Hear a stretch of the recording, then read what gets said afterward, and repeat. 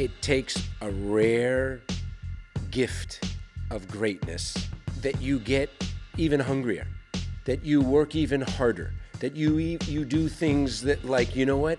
This was great, but now I've got to go to another level. And a lot of young players too, when they get a win like that, besides making lots of money and things their life changes, the worst thing sometimes that can happen, you can get satisfied. But greatness doesn't get satisfied. And that's where you, as Zach says, you need that great team around you to help guide you, to push you, to, to even double down, to work harder, to make even changes to get better. This is Startup to Storefront, the podcast where we inspire entrepreneurship through truth. Today's guests are the father and son duo, Brad and Zach Gilbert. To say that tennis is a Gilbert family hobby would be like saying that the Kennedy family dabbles in politics. Brad was a former professional tennis player who was ranked as high as number four in the world and won a bronze medal at the 88 Olympics to boot. After his playing career was over, he went into coaching, molding the next generation of elite players such as Andre Agassi, Andy Roddick, and Andy Murray. Zach grew up courtside at televised tournaments, so it's no surprise that he also took to tennis, eventually becoming an NCAA Division I tennis player for Cal Berkeley. Our conversation today is centered on all things tennis, but the lessons here are universal. So listen in as we cover everything from how to manage expectations and outside pressure, why Brad had such a difficult time coaching Zach, and the importance of being honest about your weaknesses. Now, back to the episode. All right, welcome to the podcast. On today's show, we're talking to Brad and Zach Gilbert. Thanks so much for joining. Welcome to West Hollywood. Welcome to our studio. Good morning. I, I would have never guessed that this is a studio, but it's extremely hip. Thanks for having us, Diego. Of course. Appreciate it, man. We were talking about obviously your career. Obviously, we were talking about your superstitions. So I want to just jump back into that around how if you had a good game, you wouldn't change anything. You would do exactly the routine. You had Andre Agassi do the same thing. If I was reborn, Diego, I'd like to think that I would cure myself of superstition. But you know what's crazy is you can make yourself believe anything, and especially when things are going well. I always just felt like rinse and repeat. Why would you want to do anything different? And opposed to like, I would be so much like, okay, from practice to eating to this chair to all these little things. I'm not amazingly neurotic, but I just felt like those little things would give me an edge. And then when you believe, you somehow can make yourself play a little better. Yeah. When when did you first get into tennis? What made you get into tennis? Was it your parents? Uh, when I was three, Okay. uh, m- my dad and uh, older brother started to play. I think my dad had an apartment building. He and it was ended up cleaning out an apartment where some tennis rackets were left, and then all of a sudden they went to play tennis. And then, like I think about a day or two later, my dad proclamated that that's it, we're playing tennis. But they wouldn't let me play yet, so I had to start playing on the wall downstairs at our house until I could make 50 in a row. Then I could, you know, start playing on the court. That didn't take me very long. Wow. So Galena, right? So Galena's a tennis pro at, over at Bacara, the Ritz Carlton in Bacara in Santa Barbara. She told me she grew up playing on basketball courts, and so when and the ball flies, like the ball. Oh, it's quick, if, especially if it was street. I remember when she was saying that to you, she said she played on wood, right? Yeah. Which is just lightning fast. And so because of that, she's so amazing. I mean, you can imagine playing on hard court, and it's like the, the ball just seems like so slow compared to this. Well, Andre's Baseball. dad was probably 50 years ahead of time. When Andre was a little kid, when it would rain, he would take him on a racquetball court in the late 70s, fire the ball at him, and then that's how he developed his hand speed, taking the ball on the rise, because the ball kind of kind of skips and squirts, uh, you know, and Yeah. it's really quick. Yeah, maybe that's something I need to do. Might have to get you on the racquetball. We court, need to build a basketball court at LATC so I can practice on it, or a racquetball court. This is my problem. I love how self-serving this all is. This is really about me. Put it in the box, man. Th- This is about your journey to get better. This is about my journey. So I'm four years into tennis. I don't want to take away the whole conversation, but I'm four years into tennis and I'm just like addicted. And I used to be, I used to play a lot of soccer, and in soccer, I thought it was like way too cool for school.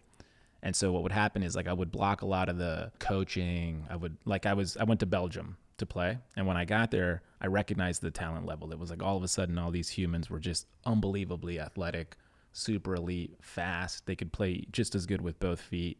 And I was not that. And so it became the time for me of like, okay, this is where you have to double down and really get better. So we hired coaches, did the whole thing. And I just wasn't advancing. I wasn't getting there. But I was like, in, I was approaching high school. And so I was also a kid who frankly just wanted to get laid, right? Like I'm in high school, I want to attract women. And so I had the story. It was like a cool story. And I was good. I was like, I'm good. And so to some extent, I got lazy and complacent. And then I was like, I'll probably never find a sport I really like tennis comes along and I just get addicted to tennis. My wife plays tennis, comes from a tennis family. And I said, okay, if I'm going to play something again, I'm going to have the right mental approach. So I'm going to make sure my backhand gets just as good as my forehand or gets better than my forehand, right? And so I started like find my weaknesses, grading myself on every little thing and then just f- like focusing on fixing all the weaknesses. I feel like I have the right mindset. I don't know if that's true, but that's how I feel. Like I have the right approach. I don't I don't get bogged down by losses. It also means I don't care very much, which is a problem. It's like You I'm, care. I'm more. I care, but I'm more interested in like the progress than the victory. I mean, that's a good outlook. I- It, it mean, is, but it isn't because it doesn't get me any trophies. Like I'm over here losing trophies. Zach's watching me Well- lose trophies. I think yeah, there's a fine balance between because if you care too much and you want to win too badly, it can hurt. It can work against you for sure. You get too tense in the big moments when you want it too bad and you're just thinking about the result too much. Yeah. If you shift the other way, you can relax yourself too much and not quite have the right you know adrenaline that you need. And it's finding that balance. I always thought about, like, you know, at a young age, I always was very in tune to what was on the other side of the net. That's how I got a lot better in tennis. Everybody's always in tune with themselves. I always was thinking about what a player did well or what they didn't do well. And so I always like that's my focus. Uh-huh. And then the biggest outlier for me is as a kid, you, you're pretty much only in your area code. Once I started playing and you get out of your area code, you can kind of see better players and see where the game is going. It's a good thing that you see better players because now all of a sudden it motivates you. But I still think about even when I was not as good in basketball and baseball, and uh, I played every game as a kid, I was better than almost everybody else because once again, just like in tennis, I was always thinking about what kids don't do well. So I want to find that area and then maximize what I can do. That that's what I was always thinking about. And then the one thing that you can control is that you, know what? If you gave 100%, you competed, you can wake up tomorrow and you know what? Go back at it and feel good about it. But I also think the big part of progressing in any athletic endeavor is finding better competition. So as long as you're constantly finding better competition and and rising to the occasion, that's going to be the best metric for success that you can possibly do. Like uh, what you said, like going out of your zip code, finding other kids who are better or more agile or whatever it was. Like that's a massive point I think in every athlete's journey where you might be the top dog until you're not. And then you've got to, like, if you're driven enough, you will be pushed to become the next top dog until you're not. And then constantly r- rinse and repeat I think until, was a D1 swimmer.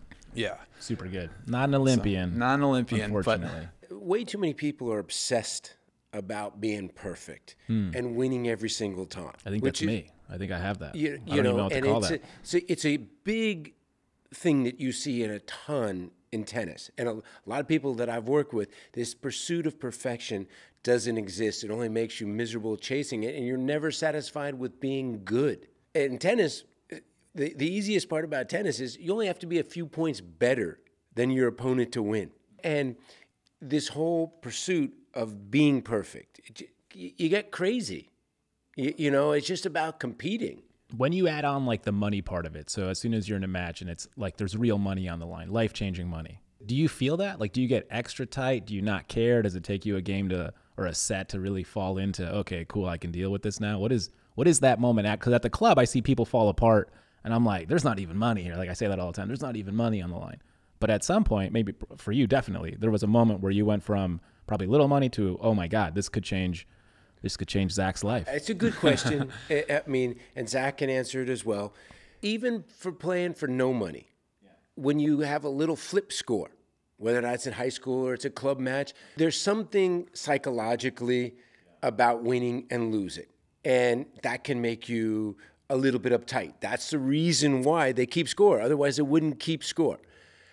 I think probably what made me blossom as a tennis player going from around 17, 18 to 19 was seeing the players go to pieces for playing for points, playing for money, all of the things that you can, in their mind, lose, or all of a sudden these things that you know make them uptight. And I, I actually felt like, for me, it didn't matter if we were playing for five bucks or we were playing for 500 grand.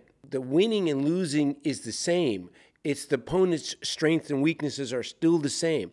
So actually playing for money and playing for more money became better for my game because I didn't worry about the losing of the money. I would still be pissed about just losing the match or winning the match. So I was able to remove myself from that, and a lot of players aren't. Do you think t- in today's world where like that flip score is now social media, it's now Instagram, it's now sponsorships that you know may go a certain way, especially if you're an up and coming player. Do you think that heightens it significantly? Like if you were coaching a young player today, like uh, Emma, who just won, right? She was 19 when I think she won the U.S. Open. So for her, it went life changing. It went in the social media world. She went from like 20,000 followers to now she has like two million. She was invited to the Met Gala. She probably has all these sponsorships lined up, and so her life quite literally changed in a super meaningful way. Then she enters Indian Wells and she gets bumped in the first round, and who knows why that happened. But my point is like, do you think that that extra layer of it's not just the flip, it's not just the check, it's now it could literally propel you to a household name. And that pressure's got to be real in the moment. I mean, they know it. Well, obviously, social media was not around a million years ago, and it's changed for everybody. But you see a lot of young players when they win a major, life changes. You are no longer that player before. And sometimes that pressure, forget even about forgetting about social media. You could be three years later and you're still only one time major, but yet that always comes up. And so you're trying to get back and you're being measured against that. But the whole pursuit, it's just trying to get better and not worrying about social media it isn't just one person and it, it keeps growing.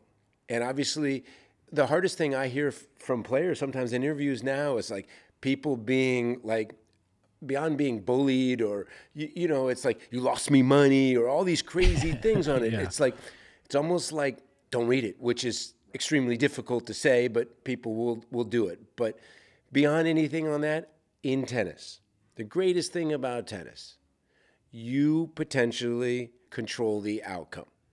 You know, it's to enter, one leave. Just focus on the outcome. Yeah. And so these people don't win you the match, lose you the match. And simple as that. And for Emma, the whole thing now is listen, there's a lot more tape on her. There's a lot more things that are tangible that, okay, we have to keep working on our game to keep getting better. That's the only thing is. And, and listen, that's all of sports. I feel better just hearing that, and that's I'm not even Emma. I do think in her situation too, which is a extremely unique situation. I think the team around her right now is is going to be huge in keeping her humble, um, keeping her focused, and just focusing on you know having her control what she can control. I mean, it, her situation is pretty much unprecedented in tennis. A qualifier had never won a major before. Usually, at least there's some level of success on the pro tour. I think it's gonna be my story too, uh, by the way. I Very- interviewed know? her. After she, I interviewed her after she qualified at the Open. She was so pumped. Yeah. Just to make it to the main draw. qualify. Yeah, yeah, Just yeah. to be in the I- big I- show. I, mean, and and you know what? When you turn pro in anything, it shouldn't be about I want to go from twenty thousand followers to two million followers. Totally. But you're 18. It should be the furthest thing from your mind. It's probably somewhere in the mind. Yeah. Yeah. But probably. obviously, in tennis and sports, you grow up quicker. You you- you know because of expectations and pressure and all these teams and things that are around. But you just keep the focus on what you've done to get there and where you're going to keep going. And, and keep working on and keep improving your game. Do they ask you for advice? Uh, no. They don't. No, one of my favorites ever. She would charge five cents in peanuts. So the the the, the girl, the, the uh, psychologist, was that um, Oh, Lucy. Lucy. Oh, Yeah. yeah. What do you, what do you think? I'm Lucy. Is that right?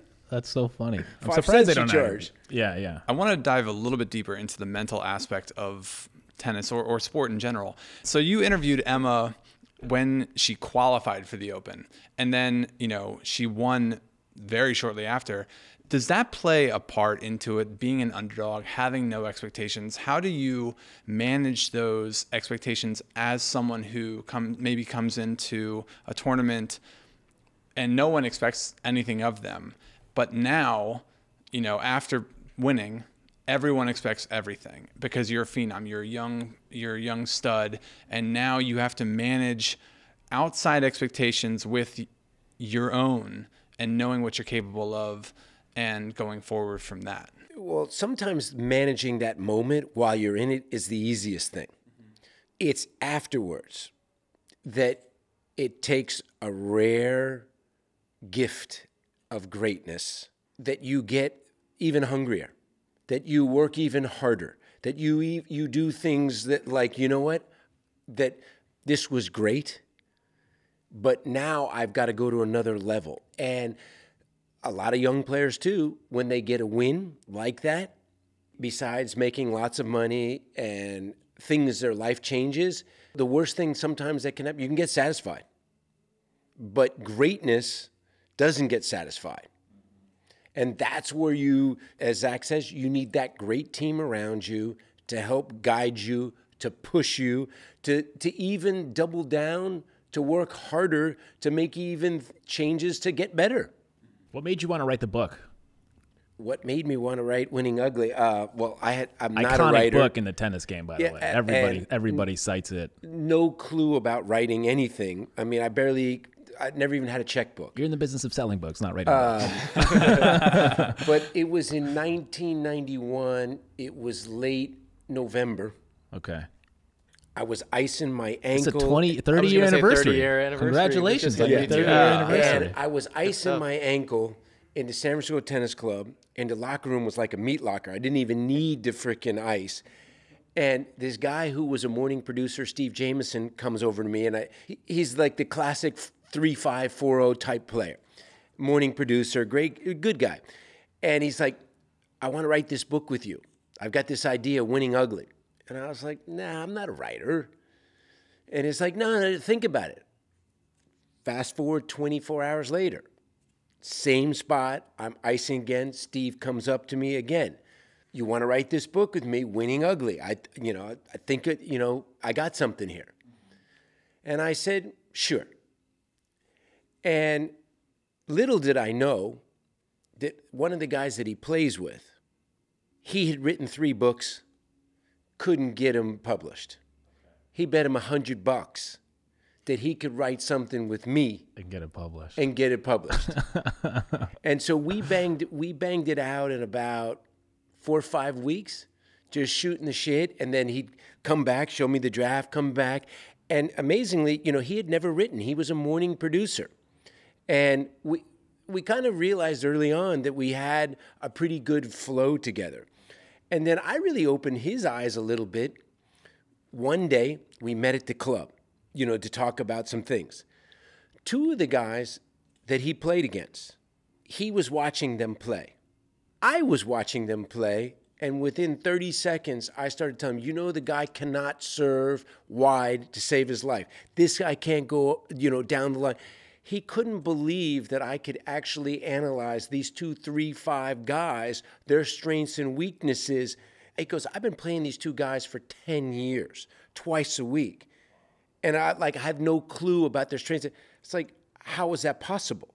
How could you play somebody? And it's amazing how many people at the club play people, play in games, have no idea about their opponent's like really good strength or what they don't do, you know. So from that book, Steve stopped being the morning producer at KTVU and San Francisco morning uh, station and he wrote like seven books with John Wooden, and I believe three or four with Bill Walsh.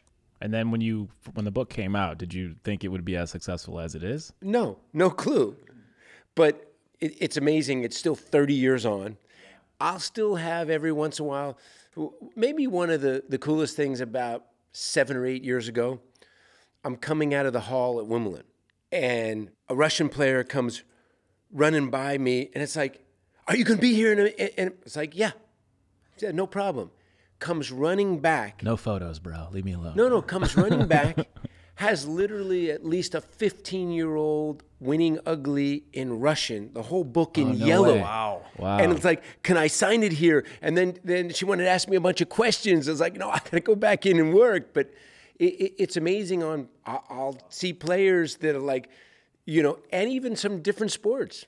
It's still quoted today. I mean, when I first got into tennis, which was not long ago, people that was the first thing people said. He's like, "Oh, if you're gonna play tennis, you have to you have to read this book."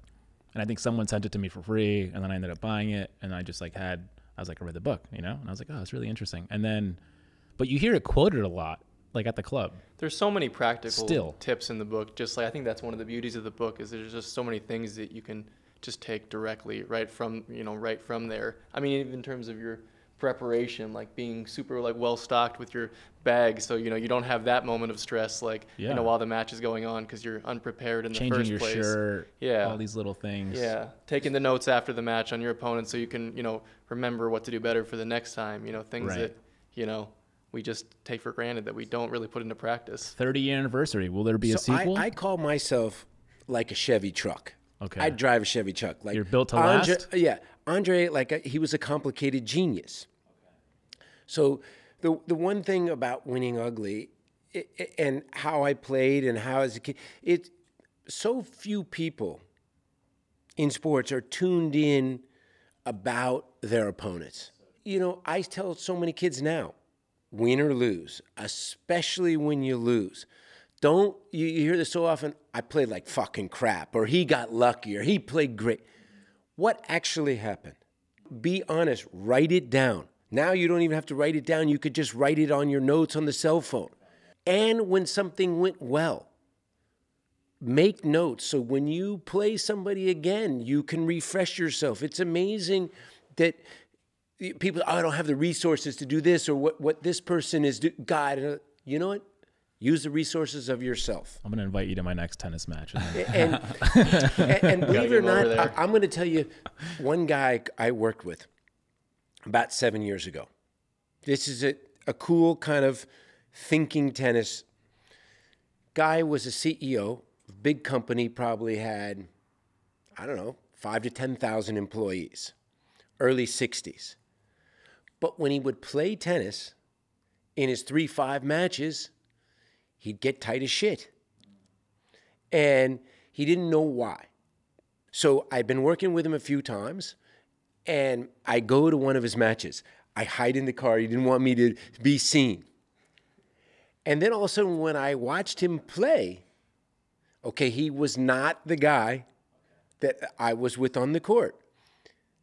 And you know what? He's used to being a boss, used to being the CEO, telling everybody. Now, when you're playing in a match, you don't control what your opponents can do. You don't control what your partner can do. You there's something to gain, something to lose. And I told him to like be sensible before that match, like with your serve. Be sensible. And afterwards, when I talked to him about it, he goes, I was feeling good. Then he tried to go too big on his serve. He's going two first serves. And the next thing you know, he's giving away three points a game on his serve. And then he was trying to like make up for it on returns. And it's like these things can happen, even to like to pros, to, to your level, everybody's level. what do you mean your level? What do you mean?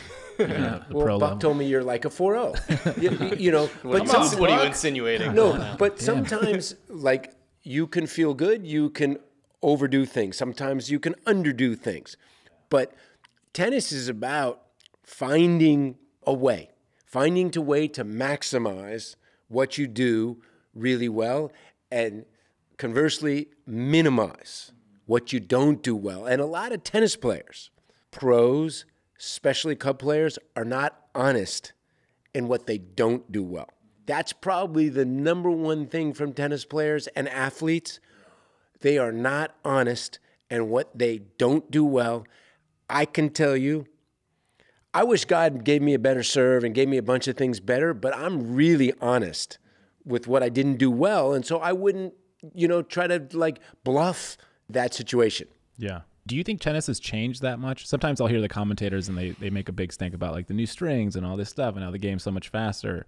Has it changed that much from yeah, you were I mean, yeah? I mean the athleticism, the movement, the eh, the strings, and a lot of things. That, but you know what hasn't changed?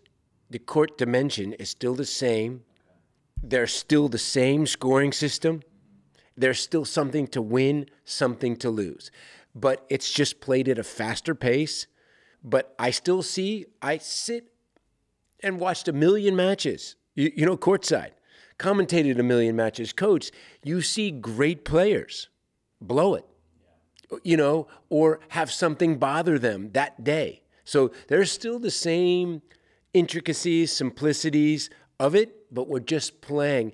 And the biggest change massively, and Zach could tell you this the 500 player in the world now is a million times better than the 500 player There's a lot of depth. uh, 20 years ago. There's just no doubt. And you're seeing because of the strings and because of probably the athleticism, 12 year old kids are getting better at a much sooner age. So when they're coming to 18 and 20, they're getting way better. So, like I said, there's a million more, but mentally, we're still seeing, you, you know, can get the best of you. Nothing's changed in that department. That's fascinating. I'd like to ask about your progression as a coach. So, like for my own athletic career, I went into coaching right after college because I wasn't good enough to become a professional swimmer, but I, I still had a lot of uh, love and interest in the sport. So I took that path and I, I stopped swimming after my senior year championship meet, and then I went right into coaching. And what I found was that the kids that I coached, I ended up coaching an Olympian, and coaching him made me a better coach because I learned things from him just seeing him swim day in day out that I didn't necessarily know as a athlete. And when you went from competing to coaching Andre Agassi, did you learn anything from coaching him that maybe you didn't know before and and what kind of relationship did you have in that initial like first few years of coaching I think sometimes your wife's biggest fear is you become your dad through osmosis. I like to think of I learned a shitload from my coach Tom Chivington. Maybe the only difference between me and coach is shit. I got a chance to coach some better players. But the the thing that I learned right away, when you think as a player, when you're coaching, you think about what you would do. Instantly, when I the words come out of your mouth, if I start talking about what I would do, it doesn't apply to Andre's game. So I think instantly I realize that when you're looking through somebody else's eyes and lenses, you're looking through what their strengths, their weaknesses are. You must remove yourself as the player. You have experiences, but that doesn't make any difference in looking through somebody else's lenses and to helping them. You know, I would say I was not as good of a coach working with Zach, you know, because We maybe. had our struggles. Yeah.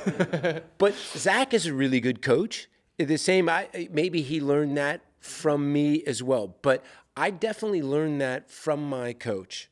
The most important thing is looking through your player that you're coaching and figuring out what's best for them, not what's best for you.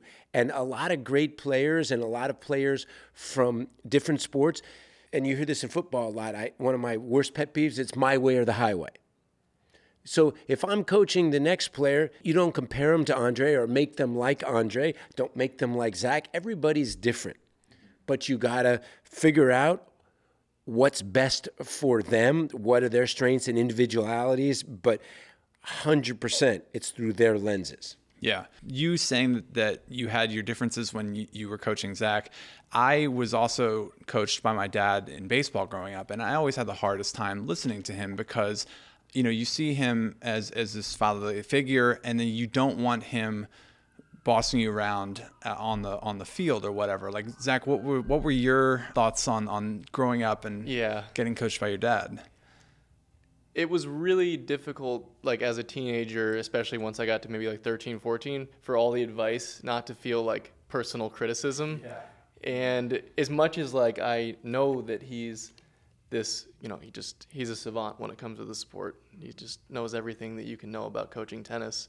It's still it's just too hard to it was at the time it was too hard for me to separate the dynamic of you know you just don't want this advice from your dad at that time it, it just feels all too personal and too frustrating in a way. So, but then you know you have a coach that's not your parent, and all of a sudden it just feels like advice again, and it the the, the separation was just was just easier uh, at, at that time. I mean, I wish I could go back and have more perspective as a 13, 14 year old, but it just wasn't there. Did you feel moment. pressure? Like were people like, oh, it's Brad's son.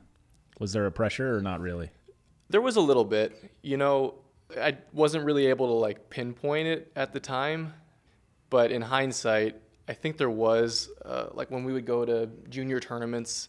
I mean, USTA, which is the sort of the, the national tennis body, you know, where they have junior tournaments, uh, is already a kind of a pressure cooker to begin with for kids. This individual sport aspect with a lot of attention on them to win is a lot to begin with. And then I think on top of that, it was amplified that kids that I would play really wanted to beat me. It was a big thing for them, you know, if, if they see him watching.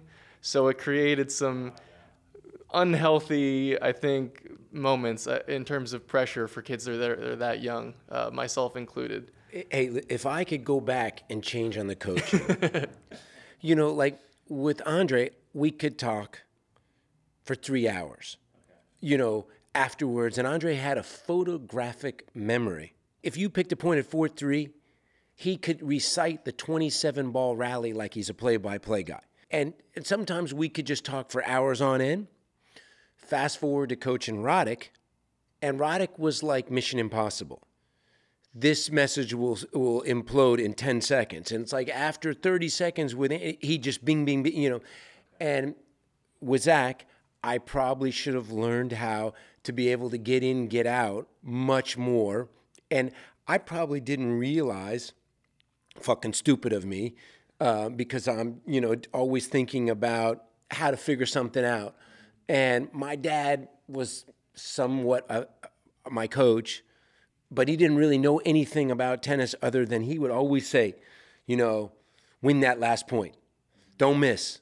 There was no pressure. The pressure was from me, and the pressure was for my opponent. I mean, man, if I lost though when I was a kid, have to listen in the back of the car driving back from Fresno. You don't know what it's like in 74 to be listening to three and a half hours of Republican politics.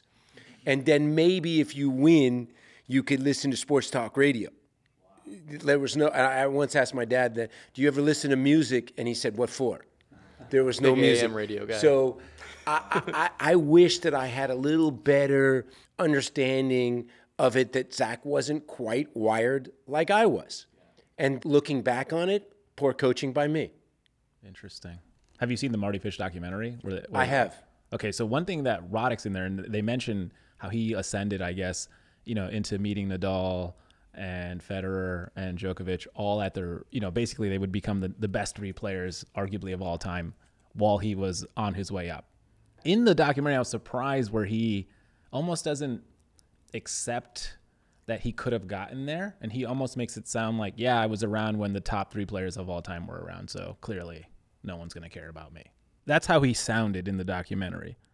And I don't know what's right or wrong about that, but to me, it was like that's an interesting statement. And he's not wrong, right? Obviously, I'll these... give you two. First, okay. Doesn't Charles Barkley blame his mom for having him five years? Uh, you know, too late. Yeah, too late. He should have been. You know, he shouldn't have ran at the same time as Jordan. right, right. Andy is very self-deprecating so sometimes it's easy to be self deprecating, to rationalize. He was right there. It's not like, okay, he, he was 20 or 30 in the world. He, for seven, eight years, he was right there at the cusp. And, you know, just didn't quite get over the hurdle. He had a great career, but sometimes that's a way. Everybody has a mechanism. Mm-hmm on how you deal with things. Yeah, I like losing because it fills my gas tank. So I just like I'll make it to the the mountaintop, and then I'm like I'm gonna lose now because there's nothing more of a motivator for me than losing. And it's this thing I noticed, and I'm like I'm gonna change that. I don't like it. I'm not like that in business, which is part fascinating. part of you like intentionally wants to lose. Yeah, at that part of it because I know what happens. Like there's nothing. If I win, it's like I have expected that. I ex- like in business as an example, when I do real estate development, this building, you walk in, it looks cool, people like it, they they you know, we'll make some money off of it. That was supposed to happen. This was engineered. This is this was manufactured. There's no there's no hiccups here. The hiccups happen on the process, right? So how do you manage the uh, the inspector doesn't like you, you have some delays. That's easy. You don't lose in business. In tennis, it's almost like you don't have that. Like the process, I'm addicted to process and I know what to fix. But in the moment, it's like losing has a, for me anyway, in tennis specifically, has a just a amazing way Okay. of, of highlighting what I need to work on. Like I'm instantly like, oh, this, this, this, instant. I need to work on this. I need to work on this. Swinging volley, th- all this stuff. And then I go to like, okay, so losing helps me. Uh, It, it's like the notes come when I lose versus when I win. Okay, I'm, I'll take Switch- the opposite. switch it up. and then Zach will have a good perspective. Is on Okay, losing let's go, Dad. You- you- you in go tennis and sports has an effect on a lot of people in a negative way. My coach told me, Tom Chivington, when I was 19, I took my first trip to Asia. He'd say, It's 32 draw, there's 31 losers every week. A lot of these kids that are going to events where they didn't lose much, you turn pro, you lose every week. Don't hang out with people that just make excuses about losing. And losing can make you lose more. But you know what? It's okay. It happens. There's 31 losers every week. But so often in tennis, you you go from a lot of times these top juniors, they go to college and they've never they've lost very little. They start losing, they fall off. They, they can't handle it. Next level, you have some of these guys that go from the juniors to college. They've had great careers. They start playing pros. Next thing you know, they're losing every single week and they can't handle it. So losing does build character, but you want to learn from that character because I, I want to win some too. But I do think it that's the one thing about tennis at all levels, even at the 4-0 level. How how am I gonna get a little bit better? And it's like you're playing because you, you, you want to win a little bit. I think that's where that's where the grit comes into play. It's all about you know yeah how, how you look at it because yeah there's going to be losses and yeah it's just it's just how you see it in terms of dragging you down or something to something to build upon. I, I was probably in that boat of one of those players that was a pretty good junior and the level upped and I was I was too hard on myself. I wanted it too badly, and the, the losses hurt, and they they lingered. I wasn't able to. He, he has good short term memory loss. I'm- I'm the I don't like that. I I don't just- have great short term memory same loss. way. Um, and, and it lingered too much on me. I, I- I think so. If that's something I could go back in time, I would say, you know, with, within a match, you know, let bad points go. Yeah. Get- Within a span of six months, let close losses go. Yeah. You know, but something uh, I've learned, uh, I think, the hard way over I time. don't know. I don't know why at 60, like when somebody asks me about matches, whatever, I seem like I remember losses though now. Yeah, like, like I'm sure. I, I- I forget m- matches from 35 years ago, but at least on the ATP website, you can always tell, you know. But I seem to remember losses a little more.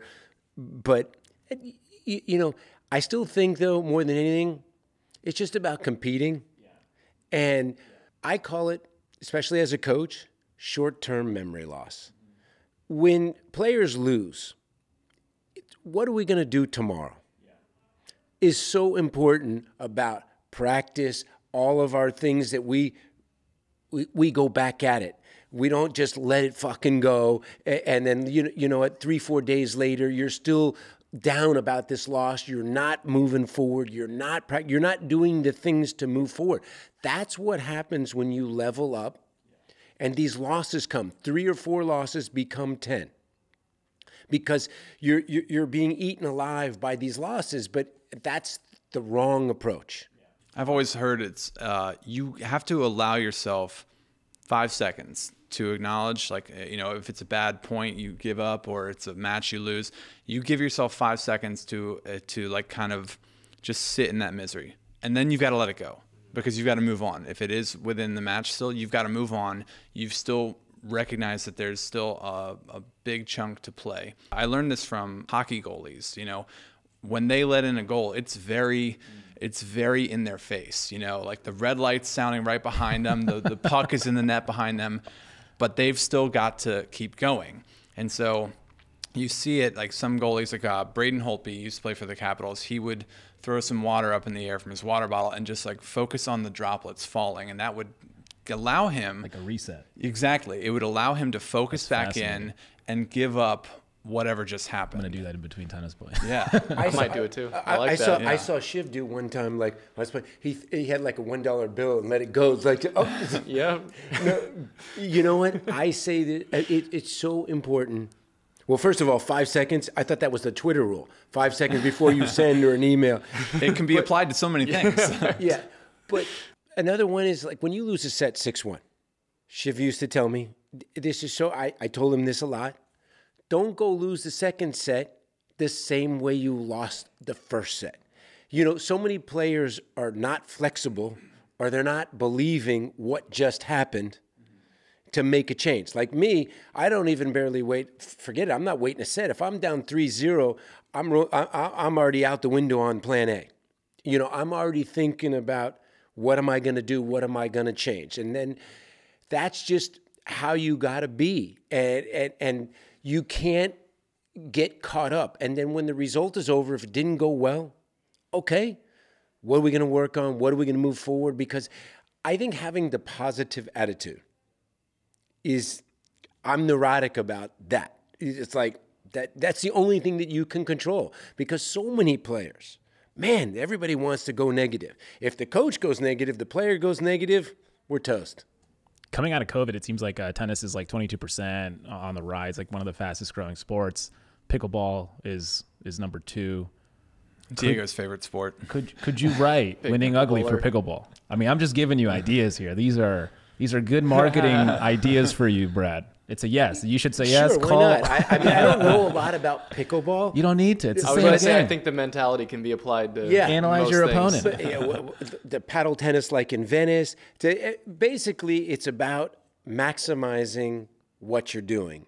And so many of us, when we do compete, we minimize. Uh, so sure, why not? I I have to sit there and study the nuances of the game, but I feel like y- you know you can apply in your game of tennis. You know, has a lot of fans from different sports that use that. Do you have a favorite match of all time? any match that I won. I- I mean, it's hard to say. You, you know, like I said, as I've gotten older, you forget matches. Maybe even as a player or coach, like just like you're, or even watching Zach. Maybe Zach won something French when Open he was. final has to be a pretty good one as a I mean, coach with you and Andre. Yeah, I mean, my probably my favorite coaching moment, yeah, is Andre winning the French, or Andre winning the '96 Olympics. Those two, I wasn't like obsessed with thinking I was ever going to win a slam or be number one in the world. It, it was more about just grinding out and trying to win. But I was never satisfied that like I wish I could have done better. I wish I could have. I was probably self-deprecating about my serve. I wish my serve should have been better, but maybe I should have worked on it a little more. But I'm not sure that I, I got like one match. I mean, right up there for me. You haven't you watched know, me just- yet, so I- I- there's, I mean, there's time. Just an you. obscure, obscure one. 1989, San Francisco, a tournament that wasn't a huge tournament on the ATP tour, but I was a ball boy when I was like eight or nine.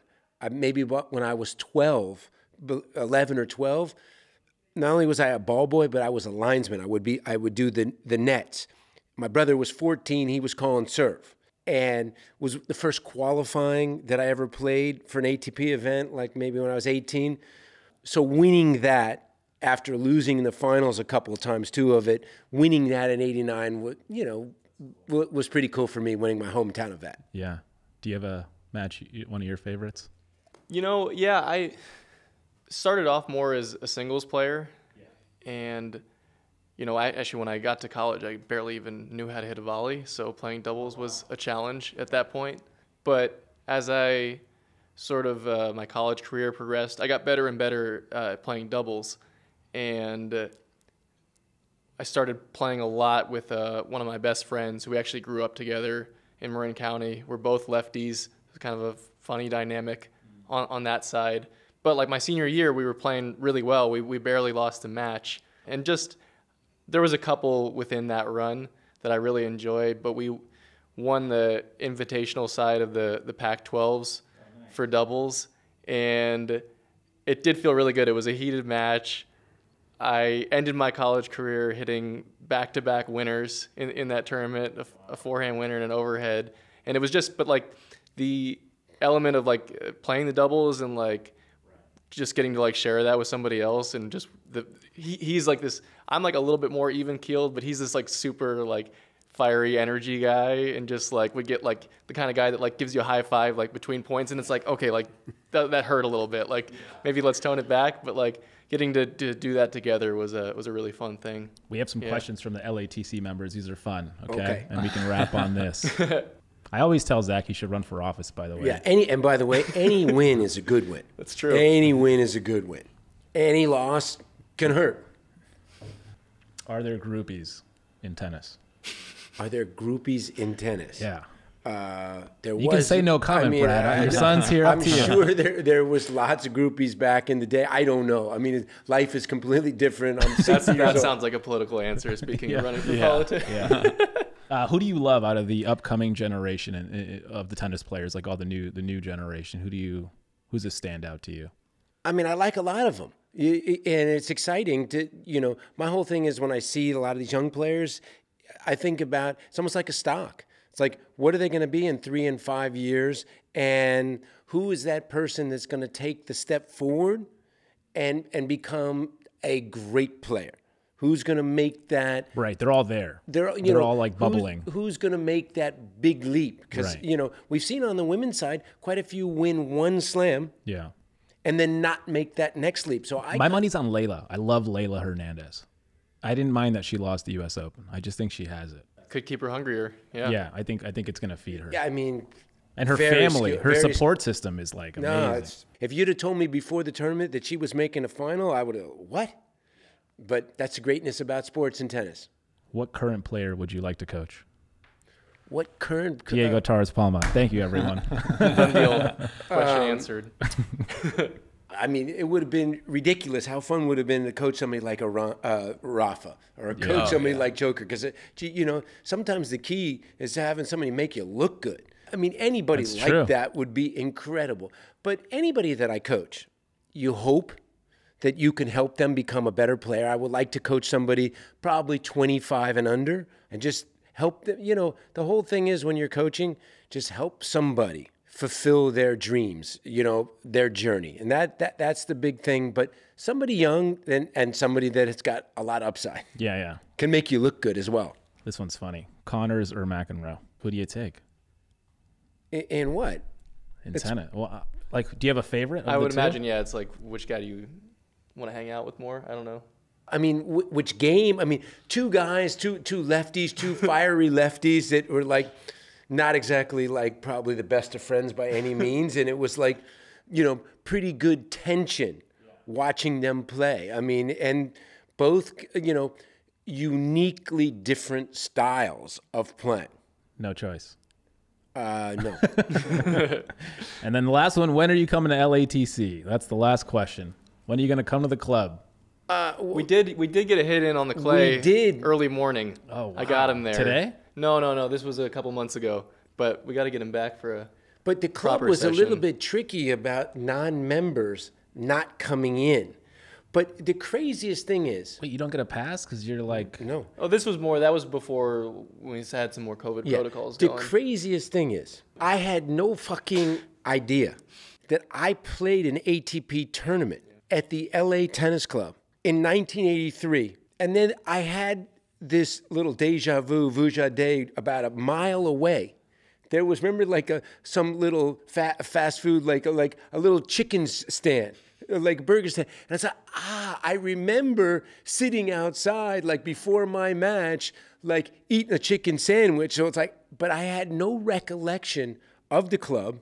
I think I beat Trey Waltke first round because I look back on the ATP, and I lost to Raul Ramirez, and I have no recollection, which is so weird that I played and lost that match, you know. But I remember the, the, the where I ate a chicken sandwich, like that was it. And so like when we came back in the club, like I, I, I you know, normally like things are coming back.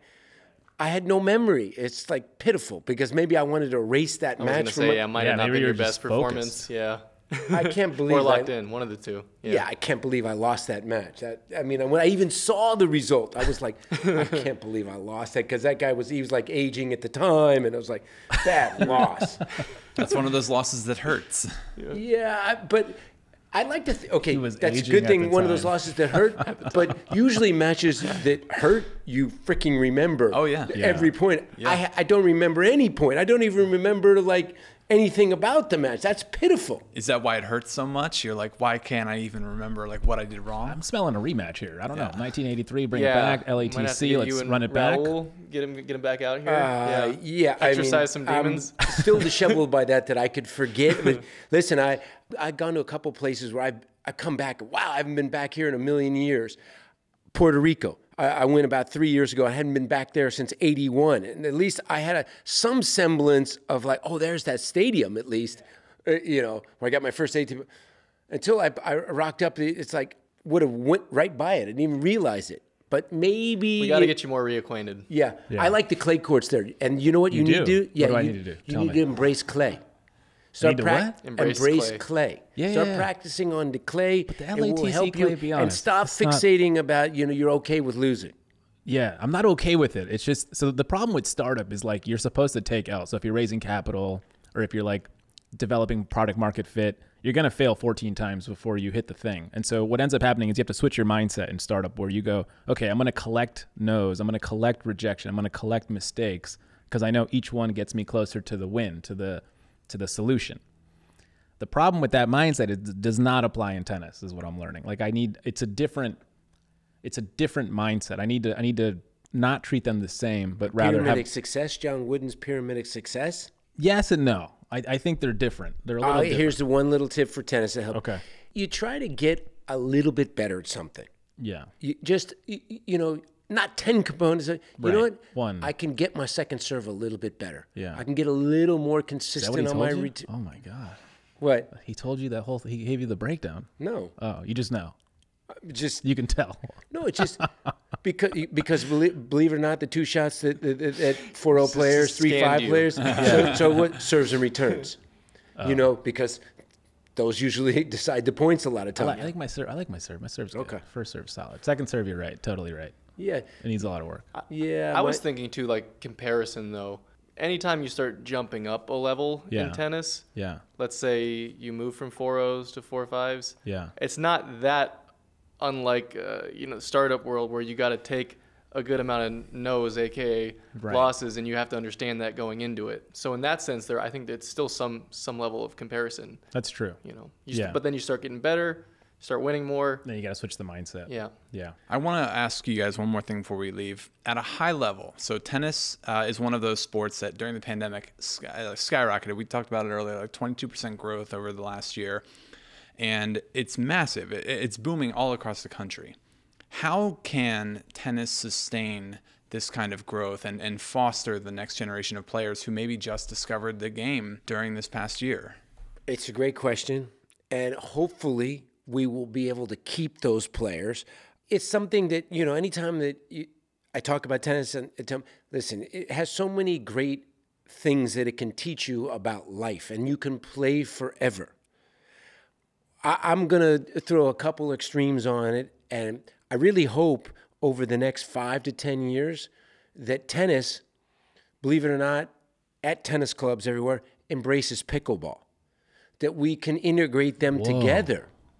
So we can literally, Brad. you know, grow both at the same time because tennis players and a lot of aging tennis players are so against pickleball. And listen, I b- believe it or not, seen that, yeah. you, you know what else I, I would like to see, and a lot of older people will punch me in the head. I actually want to see tennis as we get older play in a bit of a smaller court so we don't lose some of these players. That we do everything we can to keep more players. We we can keep it. So I'm thinking of that. I have the optimism. That's what I'm. One of my strengths. It's like, how can we keep them? Well, let's grow together of some sorts. I think you have to release winning ugly too, and then I think winning ugly for pickleball. I think you have to do that. These That- are these are two very. Get it over the edge. I'm get, This is free advice. You should take it. I am hopeful um, as far as this uptick continuing, just because I think one of the biggest barriers in tennis is that first handful of times that people go out and play. It's something that you do have to stick with a while to get the hang of. And I think you we lose so many players that take a few lessons, don't feel like they're making enough progress, and they kind of give it up for maybe a few other sports that are just a bit easier to just jump into and feel kind of somewhat competitive at right away. But I think what sort of COVID did do is it gave people a lot more time to spend that six months, spend that year playing, and at least get in the swing of it. Now they feel like, okay, I can keep a rally, I can play some points. And I think once you get to that stage, playing tennis, that's when it really opens up the door to being a really fun thing.